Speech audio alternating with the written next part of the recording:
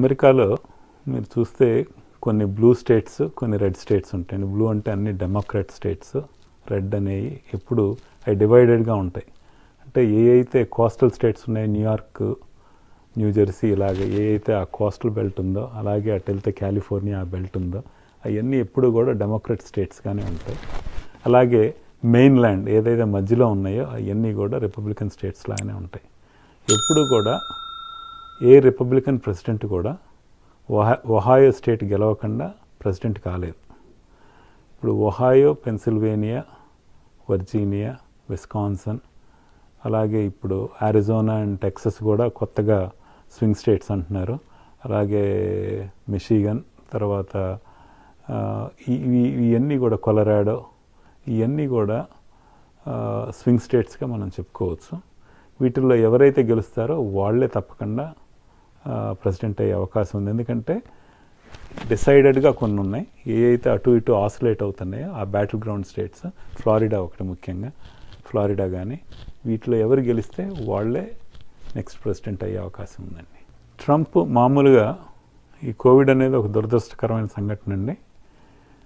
ఇంతకు ముందల ఈ కోవిడ్ రాకముందల ట్రంప్ చాలా బాగా లీడ్లో ఉంటాడు గెలుస్తాడు అనుకున్నారు.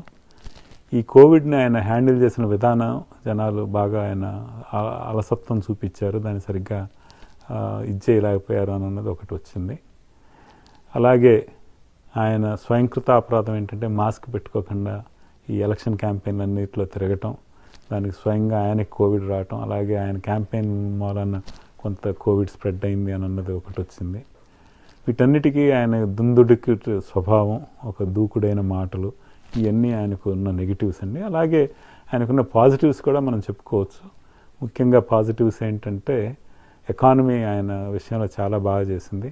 అలాగే ఫారిన్ పాలసీస్లో ఆయన చాలా స్ట్రాంగ్ ఉన్నాడు. చైనాని బిజినెస్ ఇది చేసిన విధానం కానీ తర్వాత న్యూక్లియర్ డీల్ ఇరాన్తో న్యూక్లియర్ డీల్ని ఇది చేసిన విధానం కానీ తర్వాత ప్యారిస్లో ఉన్న ఎన్వైరన్మెంట్ దీన్ని హ్యాండిల్ చేసిన విధానం కానీ తర్వాత ఇలా చెప్పుకుంటూ వెళ్తే ఆయన ఫారిన్ పాలసీస్లో వెరీ స్ట్రాంగ్ ఉన్నారు.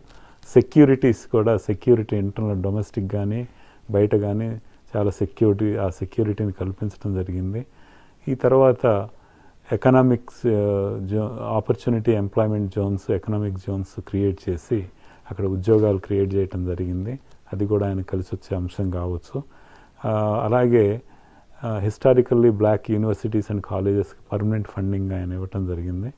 అది కూడా ఆయనకి బాగా కలిసి వచ్చిన అంశం. సో ఇలా చెప్పుకుంటూ పోతే ఆయన కొన్ని ఆయన పాజిటివ్స్ ఉన్నాయి. సో నెగిటివ్స్ మాత్రం ఆయన స్వయంకృత అపరాధాలు ఎక్కువగా ఉన్నాయని. ఎందుకంటే కోవిడ్ని చైనా వైరస్ అని చెప్పి ఆయన దాన్ని మొదటి కేర్ చేయకపోవటం కూడా ఒక ఇది. అలాగే బైడెన్కి మంచి పరిపాలనా దక్షత అనుభవం ఉంది అన్నది ఒక పాజిటివ్ పాయింట్ కూడా ఉంది. నలభై ఏడేళ్ళ నుంచి ఉన్నారు. ఆయన ఒబామా దగ్గర వైస్ ప్రెసిడెంట్ చేశారు. సో అప్పటి నుంచి ఆయనకి ఇవన్నీ ఉన్నాయి. ఆయన highly educated and accomplished person అది కాక ఆయనకి ఏంటంటే ఆయన డెలవేర్ సెనేటర్గా ఉన్నా కూడా పెన్సిల్వేనియాలో పుట్టాడు కాబట్టి పెన్సిల్వేనియాకి థర్డ్ సెనేటర్ అంటారు ఆయన్ని.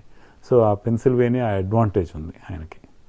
అలాగే ఆయనకి ఇంకో కలిసి వచ్చే అంశం ఏంటంటే ట్రెడిషనల్ ఇంత ముందులున్న డెమోక్రాట్స్ అందరూ ఆయనకు ముందుకు వచ్చి సపోర్ట్ చేస్తున్నారు.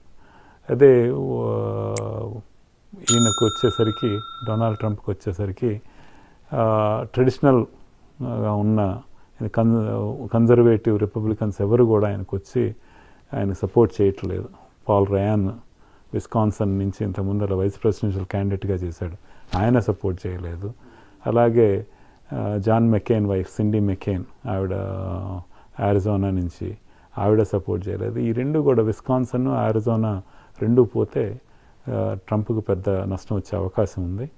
సో ఇవన్నీ కూడా దృష్టిలో పెట్టుకుంటే అతన్ని కొంచెం వెనకబడి ఉండటానికి కారణం అదిని జరుగుతుంది. కాకపోతే మనం ఆలోచించాల్సింది ఏంటంటే ఈవెన్ దో ఎనిమిది నుంచి పది పాయింట్ల వివిధ సర్వేలో ఆయన వెనకబడి ఉన్నా కూడా పోయినసారి రిపబ్లికన్ క్యాండిడేట్ హిల్లరీ క్లింటన్ మీద కూడా ఆయన వెనకబడి ఉన్నారు.